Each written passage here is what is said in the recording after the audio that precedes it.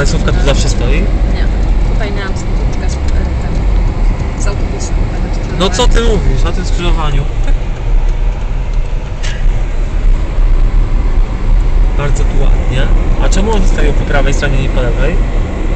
Aha, nie ma konsekwencji. Nie ma. No, bardzo zimowo. I tu rozumiem, że to jest ten dom. Jeszcze nie, jeszcze nie. Ten. No, z Mikołajem. Bardzo ładnie.